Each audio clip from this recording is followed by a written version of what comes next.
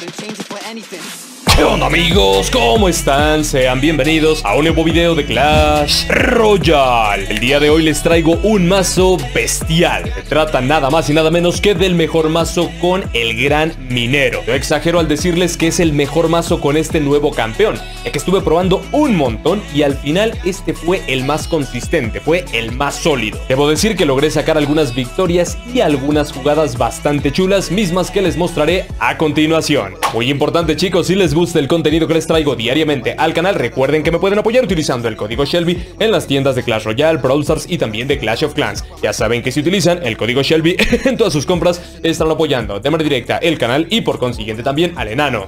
Más mamadísimo. Ahora sí, si les parece bien, pasemos al campo de batalla. Bueno chicos, aquí tenemos el mazo que les traigo en esta ocasión. Como pueden ver, se compone de Rey Minero, Barril de Duendes, Ejército de Esqueletos, Espejo, llevamos también la Princesa, el Tronco, la Bola de Fuego y por último el Duende Lanza Dardos. 3.0 es el coste medio de elixir de esta estrategia y como pueden ver se trata de un mazo con un ciclo bastante cómodo, una rotación relativamente rápida. Sabemos de antemano que los mazos de este estilo, los mazos del tipo Spellbait, se caracterizan por eso precisamente, por tener rotaciones bastante rápidas, además de que yo considero que para el meta en el cual nos encontramos, un 3.0 está bastante bien, podemos arrasar con ello cualquier mazo que se cruce en nuestro camino.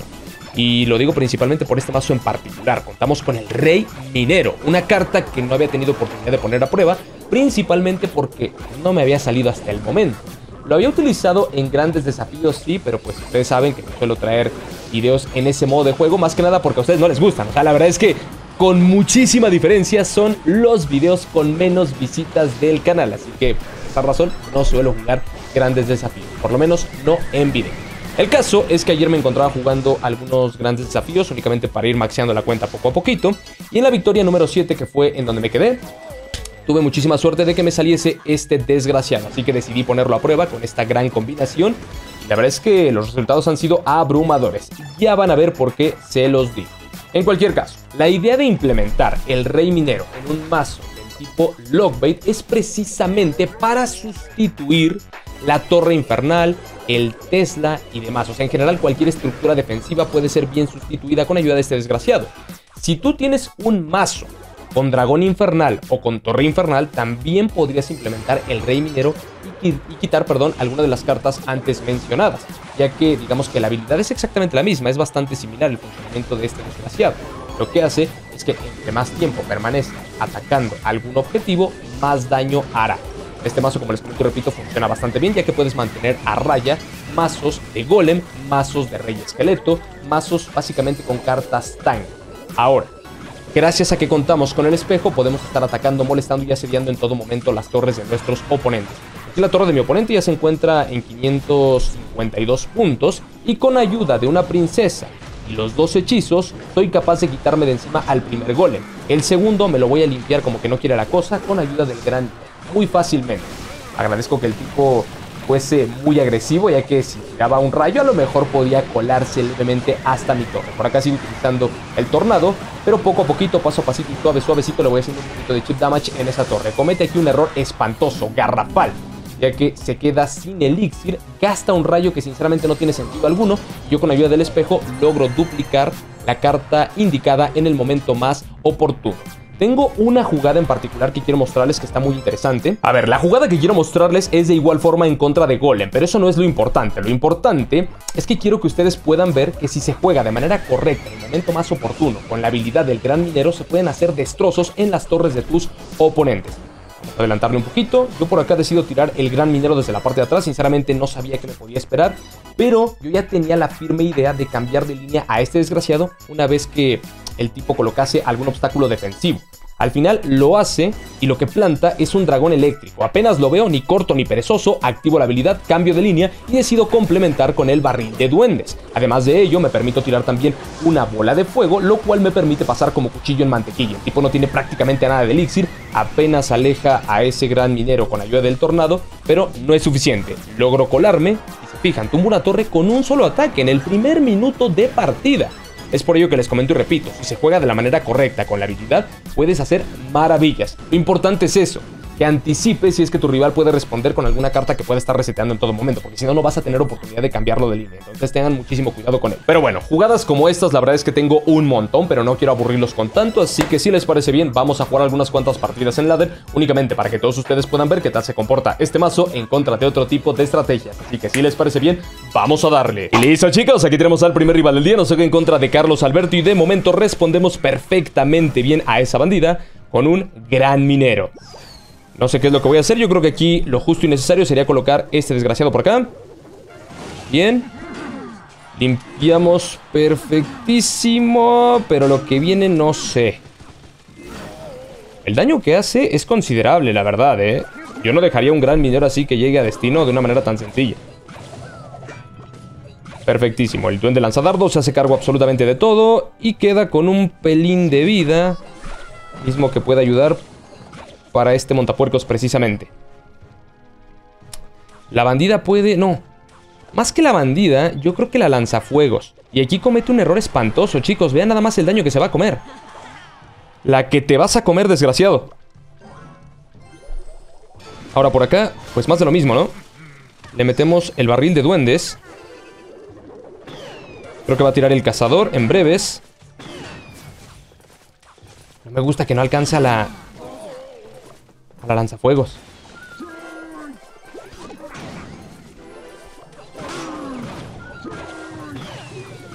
No, pero ¿por qué? ¿Por qué? ¿Por qué? ¿Por qué? Chicos, eso no debía pasar, ¿no? Eso no debía pasar. Alcancé a ponerlo antes de que brincase. O corríjanme en los comentarios, pero... O sea, e, e, es, es claro que no. Pero yo creí que sí. Yo creí que así había sido.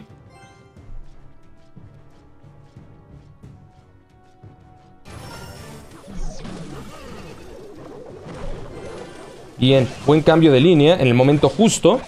Y tumbamos torre. No sé si al tipo le vaya a dar tiempo de tumbarme la mía. Pero de momento vamos a defender a muerte la torre de la derecha. Porque si no, se me va a complicar demasiado.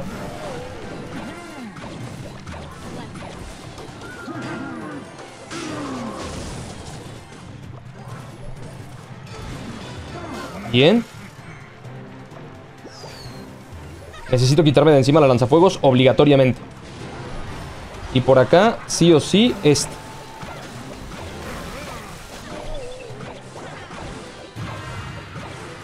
Bien.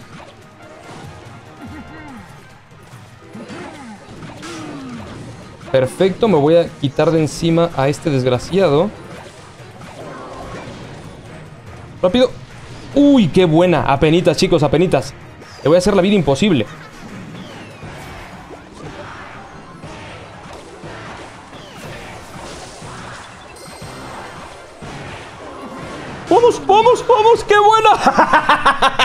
Me cerré como un auténtico marrano. Como un auténtico asqueroso. Ahora sí lo reconozco. Solamente lo que hice fue tumbar la torre de la izquierda y me cerré como coliflor a la defensa. No quise saber absolutamente nada. Pero es que la sentí cerca, chicos. La sentí cerca. Sentí una derrota aproximándose de una manera muy precipitada. Pero bueno chicos, primera victoria del día y sumamos 27 copitas. Ya vimos el potencial de este mazo y que si cambiamos de línea en el momento más oportuno al gran minero puede ser demoledor. En cualquier caso, como les comento y repito, primera victoria, si les parece bien, vamos a buscar al segundo rival. Segundo rival, señoras y señores, vamos a ver qué pasa y de momento comenzamos con Princesa directamente desde el puente, únicamente para comenzar agresivos.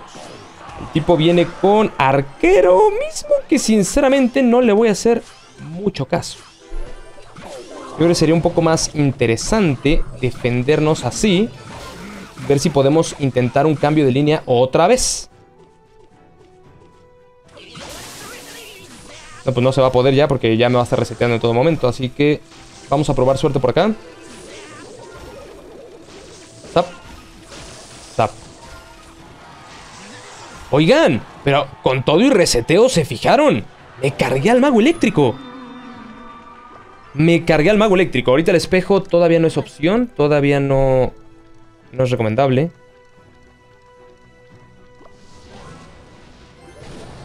Aquí sí. Un ejército.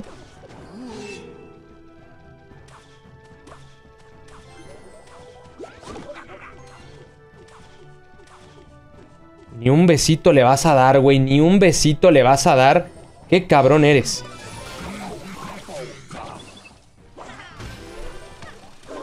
Por acá sencillito y carismático.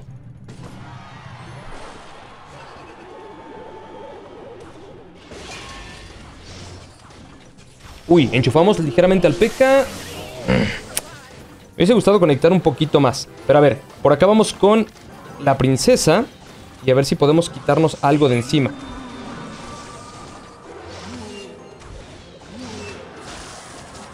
Espejo, rápido. Bien, excelente chicos, excelente, así se juega. Ahí está, esta partida va a estar un poquito más difícil. Si le damos una pequeña oportunidad, este desgraciado nos puede reventar en el momento menos oportuno. Así que por acá, bien, vente para acá. Chiquito, que aquí te arreglo tu asunto.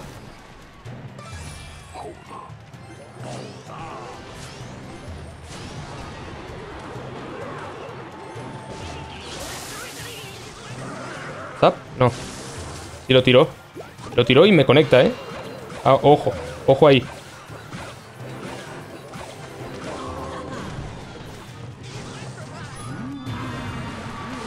Vamos con barril.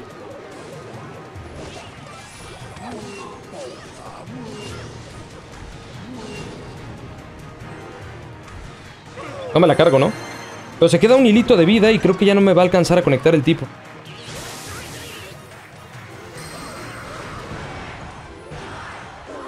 Bien, buena bola de fuego con espejo, chicos, en el momento más oportuno. Esto amerita un bailecito chingón, bailecito perrón, bailecito del mini peca, pero no lo hicimos. Ahora sí, bailecito chingón, bailecito perrón, bailecito del mini peca mamadísimo. Qué buena, cracks, qué buena victoria acabamos de sacar, impresionante, no sé ustedes, pero creo que el mazo está bestial. O sea, mucha gente no le está dando la importancia que se merece al gran minero.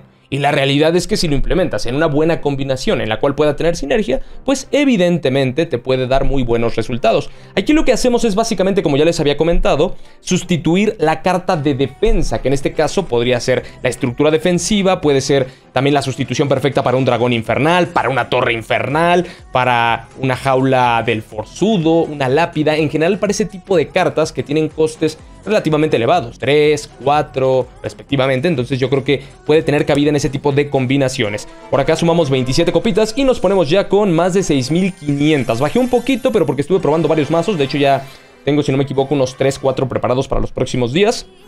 Pero de momento les dejo por acá esta gran combinación espectacular. Muchos de ustedes me estuvieron diciendo que ya lo consiguieron, que ya tienen esta carta, así que aprovechen ya que es una carta potenciada, entonces podríamos jugar con el gran minero al nivel máximo, al nivel 14, bueno, al nivel al que tengamos nuestra torre del rey, quiero aclarar. Así que chicos, mazo Lockbait con gran minero, una auténtica chulada, una joyita. Si les gustó el video, si disfrutaron las partidas, no olviden regalarme un buen like, suscribirse al canal y asimismo también activar la campanita de notificaciones para que YouTube les avise cada que les traiga nuevo contenido. Yo no tengo nada más que decir, me despido y nos vemos hasta la próxima.